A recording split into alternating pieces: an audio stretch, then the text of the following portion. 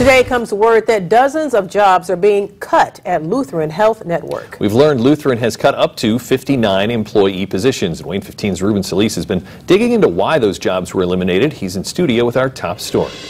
Uh, now, Dirk and Tara, a spokesperson for Lutheran Health Network, tells me these job cuts are part of an effort to increase efficiencies. I'm told several of the positions cut were IT jobs. They also tell me, yes, they've gotten rid of up to 59 positions, but not everyone is going to be out of a job. Spokeswoman Kara Stevenson said in an email to us, their goal is to place as many of the employees affected in other roles within the network. Where that is impossible, she says the employees will receive severance.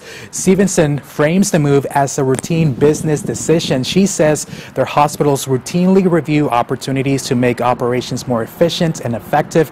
One area she says could be more efficient was the IT department. She goes on to say that no bedside nursing positions were affected, and according to her, none of these changes will impact construction of the new Lutheran downtown hospital. Places that will see changes are the RediMed clinics in Huntington and Wabash. Stevenson says Lutheran plans to convert those into clinics, uh, into primary care offices in the coming weeks. She says by doing that, they can care for more patients and serve the community better. In studio, Ruben Solis, WANE 15 News.